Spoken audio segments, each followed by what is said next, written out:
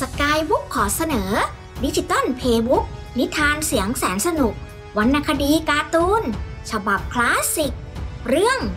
รามเกียรติ์รามาวตารชาญวานอน ตอนที่ 26 ไมยราบไม่เชื่อแม่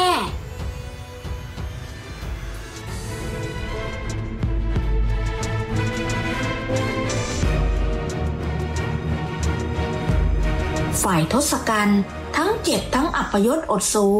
จึงส่งนนยวิทย์กับวายุเวกบุตรของมารีเป็นทูตไปขอให้มายราบมาช่วยรบกับพระราม ซึ่งยกพลข้ามมหาสมุทรมาประชิดกรุงลงกา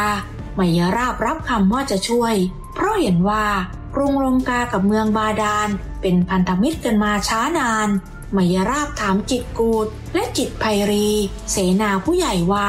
กรุงลงกากับเมืองบาดาล เวลาเกิดศึกใหญ่ เคยมีการยกทัพไปช่วยกันรบบ้างหรือไม่ ทั้งสองตอบว่า พวกตนไม่แน่ใจ เพราะเกิดทีหลัง ให้มายราบไปถามนางจันทประภา ผู้เป็นมารดา เมื่อมายราบไปถาม นางจันทประภาเล่าเรื่องในอดีตให้ฟังว่า เดิมทีเท้ารักเตียนพระบิดาของทศกัณฐ์และเท้าสหมริวัน พระอัยกาของมายราบ เป็นญาติกัน เวลาเกิดสงครามก็ช่วยกันรบ แต่ครั้นสิ้นเท้ารัดเตียนทศกัณฐ์ได้ขึ้นครองราชแต่ไม่ตั้งตนอยู่ในศีลธรรม จนเท้าสหมริวันไม่พอใจ จึงสั่งเสียบิดาของมายราบก่อนตาย ว่ามิให้คบกับทศกัณฐ์เพียงแต่ให้นับถือว่าเป็นญาติ ภายหลังจึงไม่ได้ไปมาหาสู่กัน นางจันทประภา ถามมายราบว่าทำไมจึงมาถามเรื่องในอดีต ครั้นรู้ว่ามายราบจะไปช่วยทศกัณฐ์รบกับพระรามเพราะกลัวลูกจะตาย จึงเล่าว่าเท้าอัชบาลมีฤทธิ์เดชมาก เป็นที่เกรงขามทั้งสวรรค์และบาดาล ส่วนพระราม ซึ่งเป็นพระนัดดาของเท้าอัชบาลคือพระนารายณ์อวตารแค่ออกชื่อนางก็กลัวแล้ว ครั้นมายราบได้ฟังมารดาตัดรอนญาติ แต่กลับยกย่องวงมนุษย์ก็โกรธ กล่าวว่า